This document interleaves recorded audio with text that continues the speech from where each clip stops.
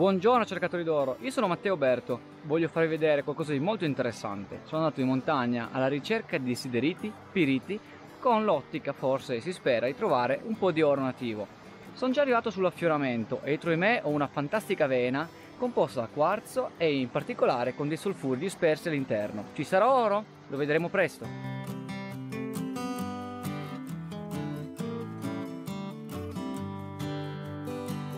Ma iniziamo con ordine.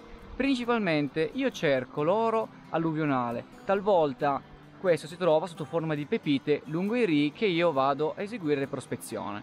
Semplicemente cerco l'oro lungo le fessure sul strato roccioso dove affiora.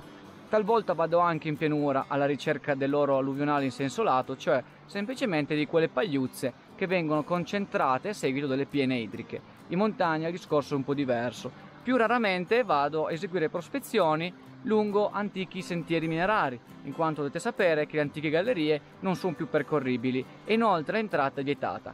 Quindi la ricerca in questi casi principalmente si ambienta nelle discariche minerarie, cioè dove semplicemente gli operai all'epoca andavano a prendere il minerale, la mineralizzazione, queste rocce ricche in eh, elementi chimici che all'epoca ovviamente erano redditizi e cercavano di estrarne il più possibile tendenzialmente lasciavano sempre qualcosa sia lungo il sentiero e sia lungo il piazzale di lavoro, cioè l'area semplicemente all'uscita dalla galleria, come in questo caso. Alle mie spalle tutto quello che vedete biancastro è un'enorme vena di quarzo idrotermale. In questo caso vi è all'interno anche della siderite e della pirite. Non sono sicuro vi siano delle tracce d'oro, vi dico subito la verità, ma durante la prospezione non vi è nessuna certezza. La prospezione è proprio quella fase di ricerca in cui cercate di capire se vi possa essere l'elemento chimico piuttosto che il minerale che state cercando. Proprio per questo si fa la prospezione. Quello che avete davanti è l'entrata di un antico cunicolo,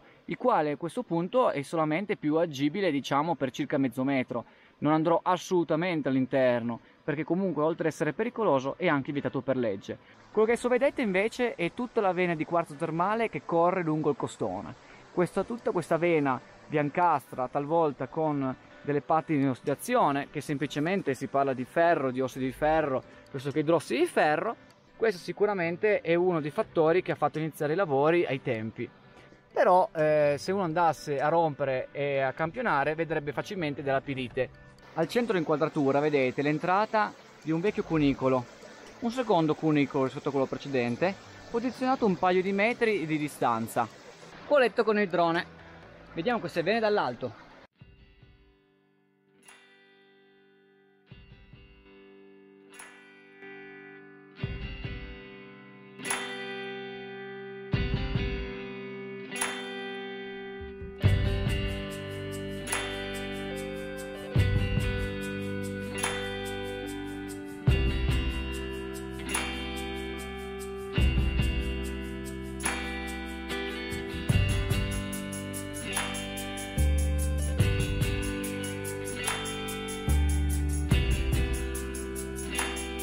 Siamo pronti ad andare a fare prospezione aerea direi.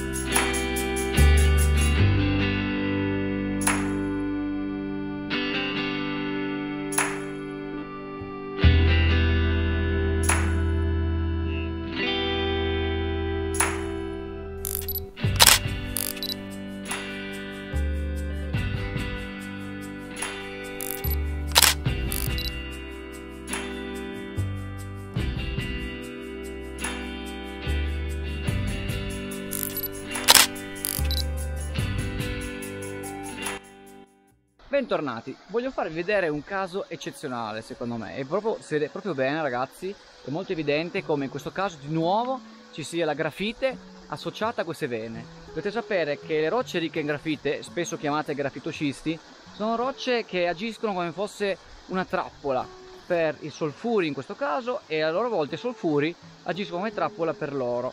Non ho ancora trovato oro libero nei sedimenti, né tantomeno nativo all'interno del quarzo, però tutti i presupposti ci sono. Vedremo poi macinando a casa se uscisse mai qualcosa. No, adesso mi trovo con i miei piedi proprio lungo questa vena principalmente costituito da quarzo termale, c'è un po' di carbonato e ogni tanto ci sono dei solfuri.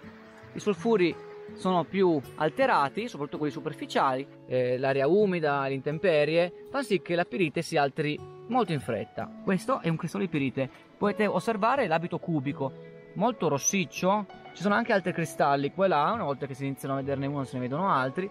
C'è anche della siderite soprattutto i solfuri tendono ad essere molto isolati. Sicuramente rispetto alla cubatura del quarzo termale, che in questo caso è la ganga, cioè semplicemente il minerale inutile, e i solfuri sono una minima parte. Ciò ci fa anche intendere che se ci fosse l'oro sarebbe probabilmente disposto in queste sacche ricche di solfuri, come proprio questa che vedete qua davanti. Vedete questa porzione rossiccia mi indica che ci sono dei sulfuri all'interno su qua si potrebbe utilizzare ad esempio un eh, martello con uno scalpello e andare ad asportare questa porzione. Attenzione che macinare questa porzione non vuol dire trovarci dell'oro all'interno, l'oro potrebbe ancora essere nella pirite e di conseguenza non lo trovereste al piatto, trovereste la pirite e come estrarlo a quel punto? Beh, ci sono tutti i processi chimici che non sto ad annoiarvi, però sappiate che soprattutto in questo contesto di ricerca eh, il mio obiettivo principale è quello di andare a campionare sì le mineralizzazioni, ma soprattutto quel terriccio,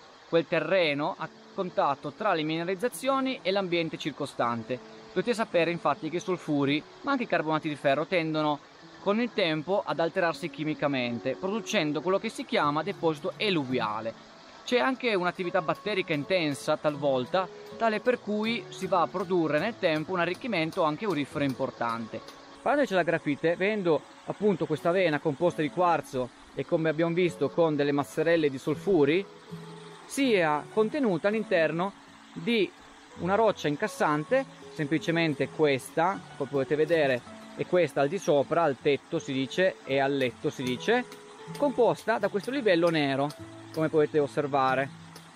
Questo livello nero e questo livello nero probabilmente una volta erano il medesimo sono stati fratturati sono stati quindi allontanati leggermente e si è messa in posto la vena all'interno. Questa è un'ipotesi logicamente.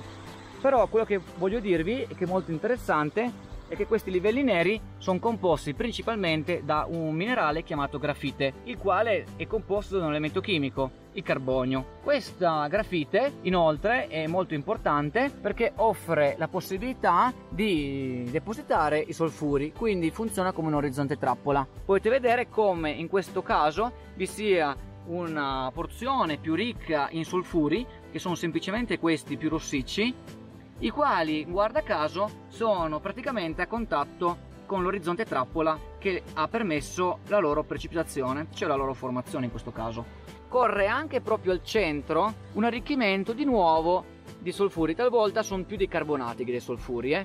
e raramente delle piccole geodi composte semplicemente da cristalli di quarzo più o meno cristallizzato. Quando i solfuri vengono giorno, cioè affiorano, tendono ad alterarsi, visto che contengono all'interno del ferro si tende a colorare la roccia di una caratteristica patina rossa, come questa che potete vedere all'interno dell'inquadratura. Questa patina rossa col tempo viene dilavata dalle piogge, dalle intemperie e quindi viene a formarsi al piede un terriccio composto principalmente dai minerali costituenti la roccia stessa.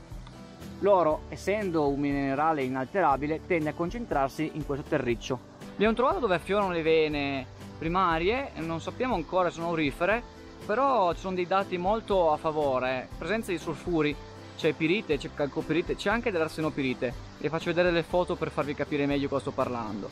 Le vene sono veramente mineralizzate, tendenzialmente i solfuri sono solo in minima parte, ganga, quarzosa, un po' carbonatica, ci sono anche non solo solfuri, il ferro si è andato anche a depositare dentro i carbonati formando della siderite tutti indicatori molto interessanti la possibile presenza di oro però oro nativo non ce n'è traccia così. Vedremo poi a casa del microscopio la macinatura se uscisse qualcosa. Di nuovo la grafite sembrerebbe essere stata un formidabile minerale trappola per formare queste mineralizzazioni. Campionato abbiamo campionato. Vediamo nei prossimi video come procede questa ricerca dell'oro nativo. Io sono Matteo Berto e mi raccomando nel caso in cui questo video fosse piaciuto di iscrivervi al canale, cliccare sulla campanella così che rimanete sempre aggiornati nel momento in cui esce un mio nuovo video. Vi ricordo che c'è anche un blog che si chiama Matteo Berto Prospector dove potete trovare moltissimo materiale riguardo le mie avventure e invece gli articoli riguardo i contenuti e la ricerca dell'oro li trovate sul sito Cercatori Oro Italia, vi lascio tutto qua sotto nei dettagli. Udite udite, ho trovato di nuovo la grafite, è proprio diciamo mi segue ovunque.